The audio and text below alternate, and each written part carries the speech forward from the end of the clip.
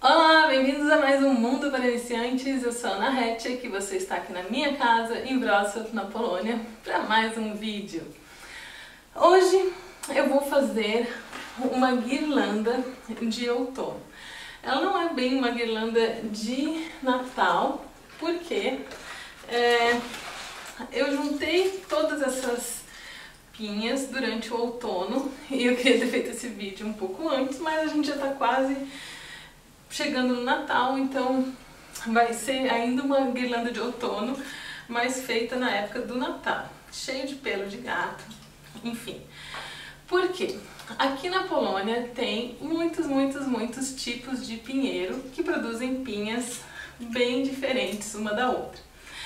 E eu adoro pinhas. Desde o Brasil, lá eu sou do sul e eu sempre gostei de colecionar, de olhar as pinhas, de ver uh, como elas eram, os formatos e fazer, inventar artesanatos com elas. Então, hoje eu vou usar uma guirlanda que eu já tinha aqui em casa, o último morador comprou isso, é uma guirlanda feita de galhos, tem até assim uns, umas os próprios galhos têm umas coisinhas. Aqui tem um negócio de plástico que eu vou tirar, um enfeite que eles colocaram. E eu vou usar essa guirlanda aqui, que já tá aqui em casa faz uns dois anos, abandonada, tá velhinha, tá meio suja. Mas eu vou usar ela como base para colar as pinhas em cima e para transformar ela então num enfeite mais bonito. Não necessariamente para o Natal, então eu não vou fazer é, decoração específica de Natal, mas eu vou tentar fazer uma coisa com as pinhas. Só que é, daqui a uma hora já vai estar escuro, então eu tenho que fazer isso meio rápido, ok? Então, vamos ver os tipos de pinhas que eu tenho. Eu vou fazer, organizar elas na guirlanda para dar uma olhada em como que eu quero fazer, como que eu quero colocar essas pinhas, tem de todos os tamanhos, todos os tipos. Eu fui juntando ao longo de meses isso daqui, já pensando, au, essas daqui são bem espinhudas, já furei meus dedos várias vezes. Então vamos ver o que eu tenho disponível aqui para usar. Essas árvores aqui, a maioria são na minha rua, então não precisei ir muito longe para catar isso não. Cada vez que eu ia voltando para casa, eu ia pegando e colocando nos bolsos. E tem uma mais linda do que a outra. Então, algumas são muito sensíveis e se desfazem só da gente chegar muito perto, né Pelé?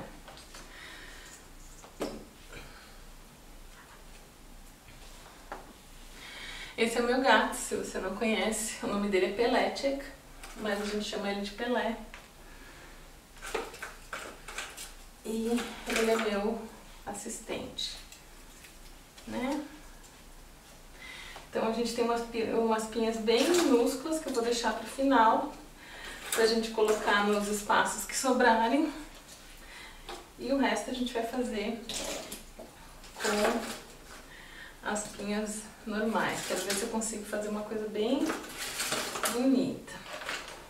Algumas dessas pinhas eu peguei, elas ainda estavam bem fechadas, então eu coloquei em cima do aquecedor aqui, porque com o calor elas abrem e se mostram.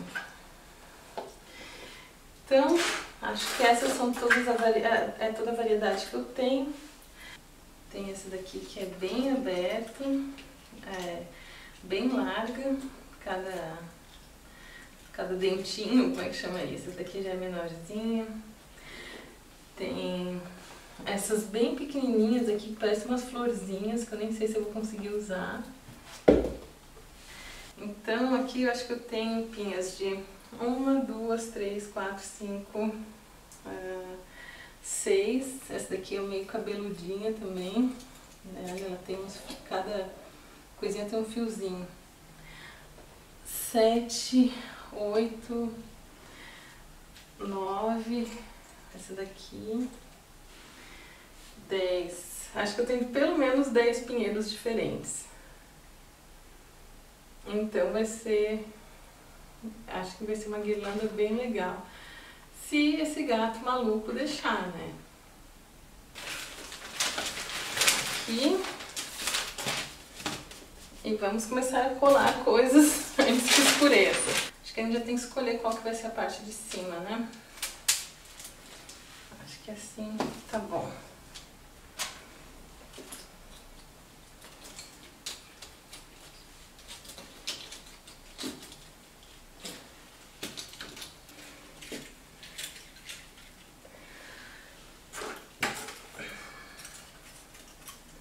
Então, acho que a gente tem que começar bem em cima e ir descendo, porque daí um cobre a ponta do que ficou para trás. Tá, esse vai ser o primeiro. Então.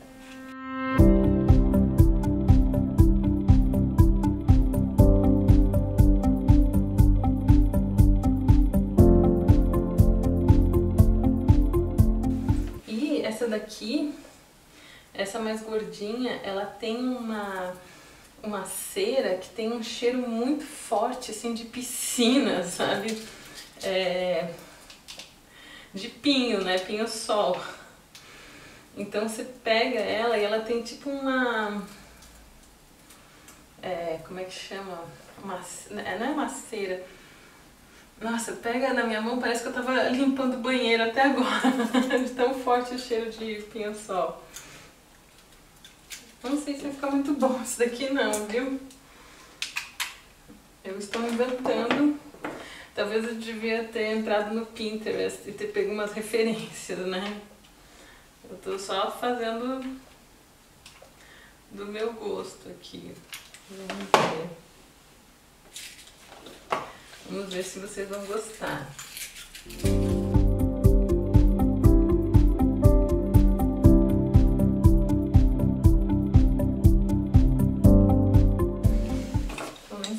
Ficar muito proporcional. Eu estou primeiro fazendo uma base e distribuindo assim, bem loucamente essas,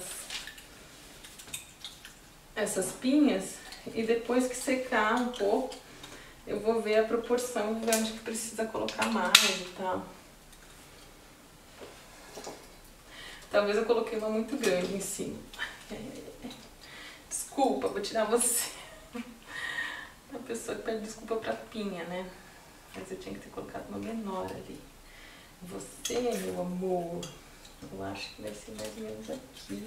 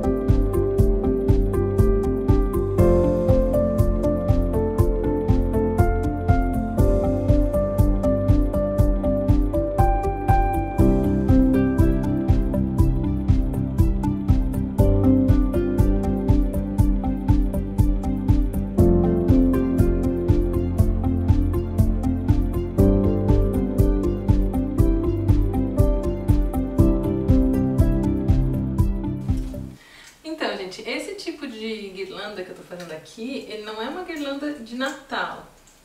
Não sei, talvez alguém, alguém aí ache estranho, comente, ué, mas você vai fazer uma guirlanda, mas não é de Natal. É porque esse tipo de guirlanda de outono também é usado para decoração. Então, guirlanda não é uma coisa assim que foi inventada pelo Natal que só existe no Natal. Então, você pode fazer guirlanda de Páscoa, você pode fazer guirlanda de outono, e sinceramente a minha intenção com essa guirlanda aqui é que ela fique na minha casa o ano inteiro, porque eu adoro pinhas, então mesmo quando não tá na estação das pinhas, tipo agora no inverno não tem mais pinhas. Essas são as pinhas que eu peguei no outono. Então, a minha intenção é que elas fiquem o ano inteiro aqui decorando a minha casa.